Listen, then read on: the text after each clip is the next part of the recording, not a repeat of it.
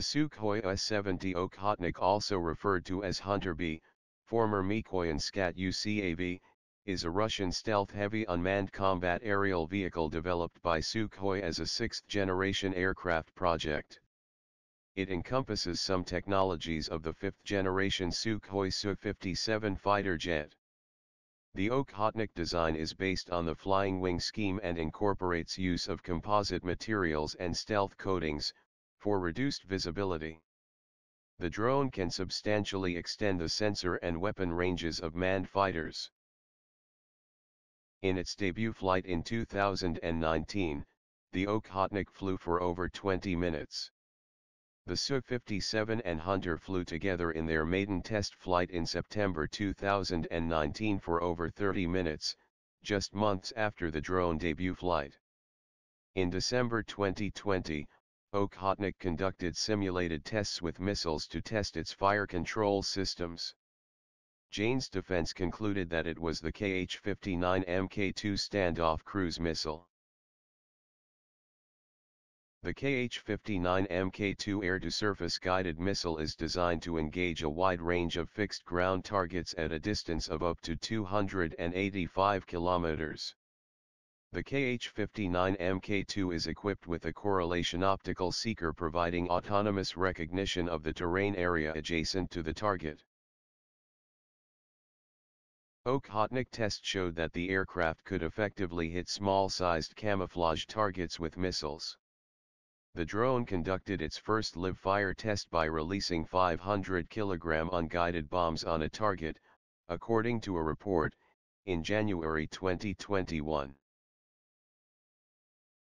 The Hunter is equipped with Saturn AL41 FM1 engine without afterburner and without thrust vectoring. It has a flat nozzle that is significantly smaller than its predecessor, allowing it to fit better into the fuselage. These distinctive features reduce radar and thermal visibility of the drone. It is expected to fly at 1000 km an hour and to have a range of 6000 km. Drone expected to be able to operate in stratosphere, at altitudes up to 50 kilometers. An unmanned aircraft eliminates the constraints imposed by human physiology when operating in stratosphere. The Okhotnik arsenal includes air-to-surface missiles and an array of bombs that will be hidden inside the body to reduce visibility on enemy radar. The ability to keep weapons inside the aircraft allows the drone to attack while operating in stealth mode. The drone wingspan is 19.1 meters. Length 15.1 meters. Height 3.16 meters. Maximum takeoff weight 20,000 kilograms. Practical ceiling 10,500 meters. Combat load, 2,800 kilograms. The Su-57 can control a swarm of up to four Okhotnik drones. The Su-57 and Hunters can interact not only with each other but also in various types of combat formations.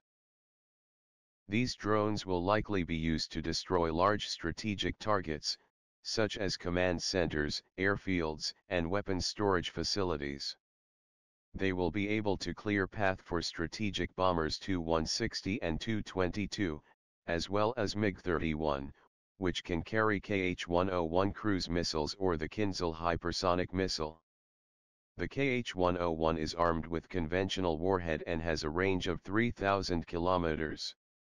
Depending on the version the missile weighs 2,200 to 2,400 kilograms and carries a 400 to 450 kilogram warhead. The drone can conduct reconnaissance, give target designation and strike at ground and airborne targets. The Hunter is made with elements of artificial intelligence. It will be possible to set general tasks for it that the drone can perform independently. The Hunter is equipped with electro-optical targeting. Unlike the American MQ-9 Reaper, Okhotnik is designed for war rather than counterinsurgency operations against opponents with no air defenses. It is expected that the S-70 Okhotnik will enter service with the Russian army in 2024.